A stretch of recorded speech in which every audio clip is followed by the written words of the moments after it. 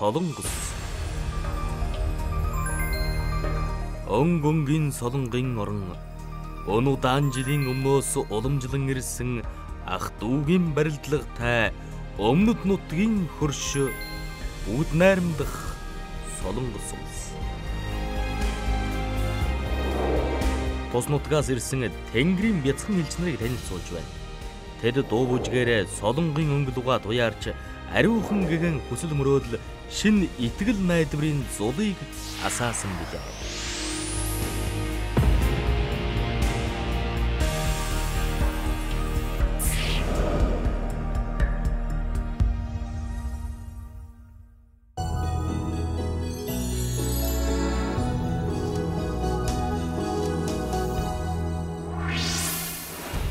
Өргөн уудам хээр тал хангай говь хосолсон Монголын сайхан.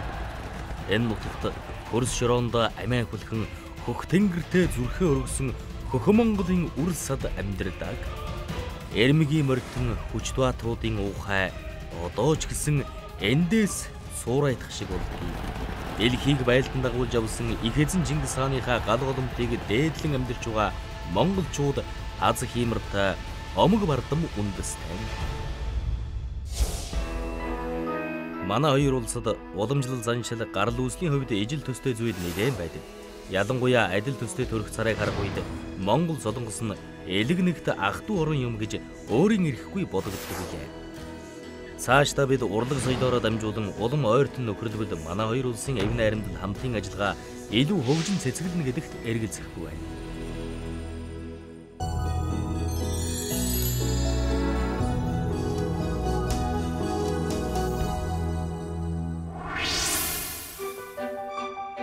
Солонгосын дайны дарийн утаа хараахан намжаагүй байсан 1962 онд Даян дэлхийн амар амгалан энх тайвны төлөө хүндэт мөн сомён гэргийн хамт Little Angels буюу Тэнгэрийн бяцхан элчнэр нэртэй чуулга байгуулсан юм.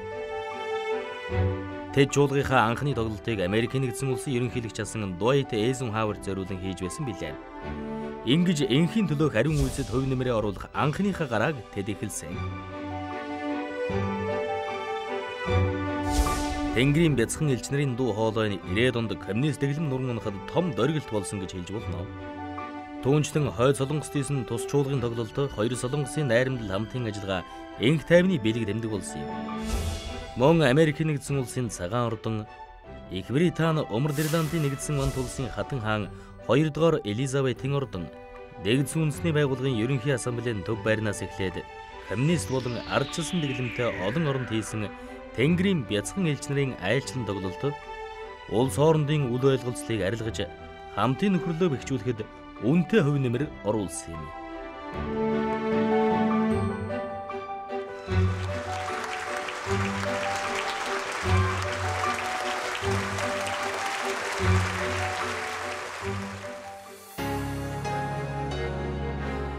Хоёрын 10 онд Солонгосын дайн дууссаны 60 жилийн ой тохиосон билээ.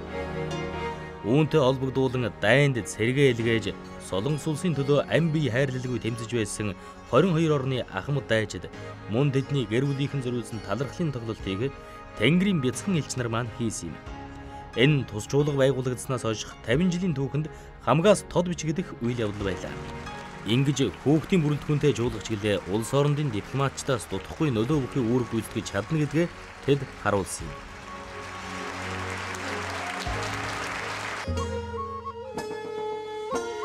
Мөн тоглолтоороо дамжуулан үзэгчдэд хүргэж байгаа гол үзэл санаа нь жинхэнэ аз жаргал, энх тайван амар амгаланд оршиж байдаг. Тиймээс ч тэдний тоглолтыг үзсэн хүн бүрийн сэтгэл хөдлөж бас ариун нандин инээмсэглэлд нь уярдаг билээ. Энэ утгаараа чуулгынхны тоглолт ямар ч гавьяа шагнал одон медалаас илүү үн цэнтэй байдаг бөгөөд тэднийг дэлхийн нийтээрээ энх тайвны хөөхөн цэцгэс гэж дуудах нь аргагүй гэлтэй.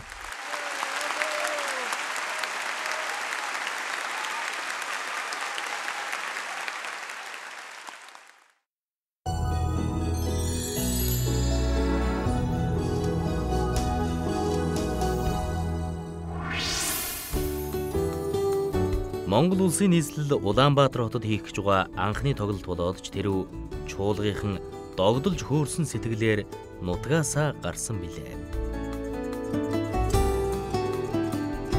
Ялангуяа энэ удаагийн айлчлан тоглолт Монгол улс нэгдсэн үндэсний байгууллагад элсэн орсны 50 жил мөн Монгол Солонгос хоёр улс дипломат харилцаа тогтоосны 20 жилийн ой зориулсан болохоор энхийн элч төлөөлөгчдийн хувьд юунаас ч илүү нэр төртэйгээр хийх учиртай байлаа.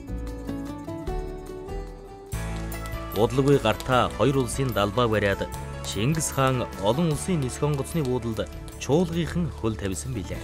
Нүүрэндээ инээмсэглэл тодруулаад газар төвших мэт хөнгөн гэгчин алхасаар бууж байгаа тэдний царайг харахад аян замдаа альжаасан шинж юу вэ? Ингээд тэднийг тосч байсан сэтгүүлчдэд товч ярилцлага өгсөний дараа бөөндөө дурсгалын зураг авахулсан юм. Солонгосоос Монгол ирснээ зарлах мэт нэгэн дуугаар кимчи гэж хэлээд зураг авахулж байгаа чуулгынхан бүгд баяр хөөрөөр дүүрэн байлаа.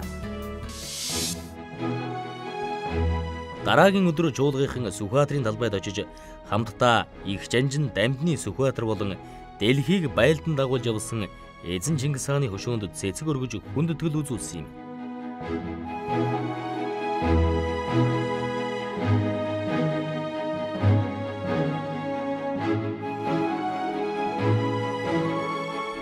Мөн дүүгэр багштай хүүхэд асрамжийн газарт очиж Монгол найз нарынхаа бэлдсэн урлагийн тоглолтыг үзэж сонирхсон. Түүний дараа талархсан сэтгэлийн хариу болгож Little Angels-чууд маань өөрсдийн ая дуугаар бэлэг барьсан юм. Мон нутгасаа авчирсан бэлгээ Монгол найзуудаа гардуулж харилцсан сэтгэлээ хуваалцсан сайхан хугацааг өнгөрөөсөн.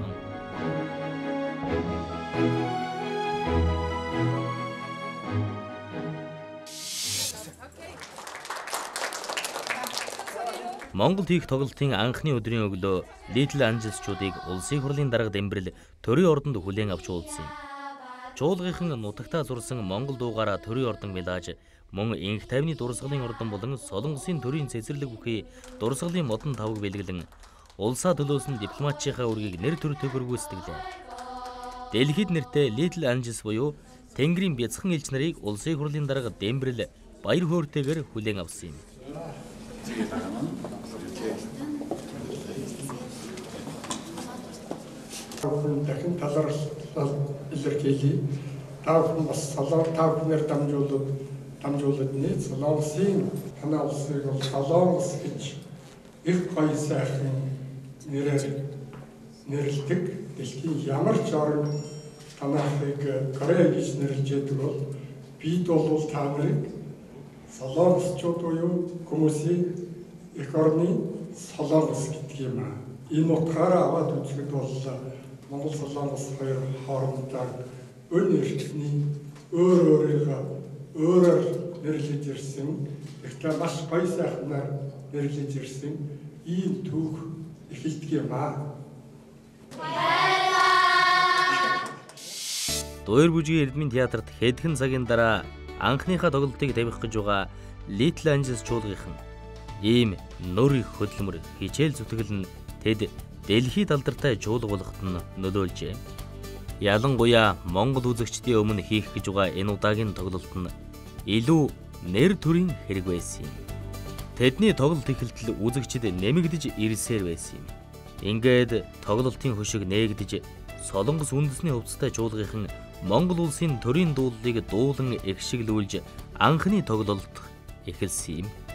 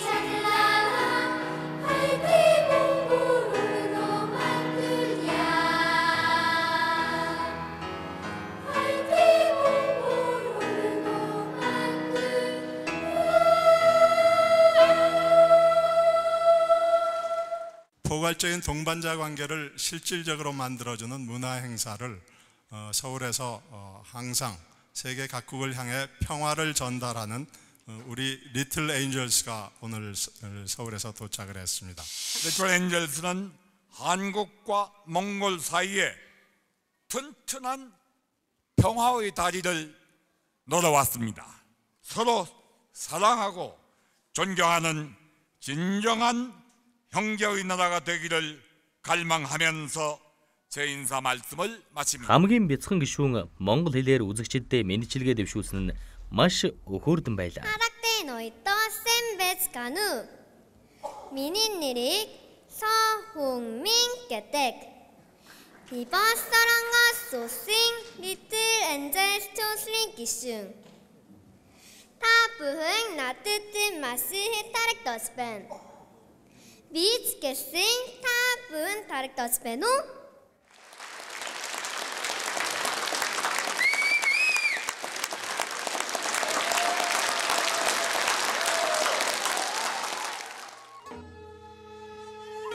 Монгол улсын дойр бүжи театрт театрты Олсый хурлын дарга тергүүтэ 20 гаруй парламентийн гишүүд болон 500 гаруй үзэгчдийн өмнө анхныхаа тоглолтыг үзүүлж байгаа Little Angels чуулгынханд үзэгчид эрхэм нандин баяр хөөр халуун алга ташилтаар бэлэг барьж байлаа.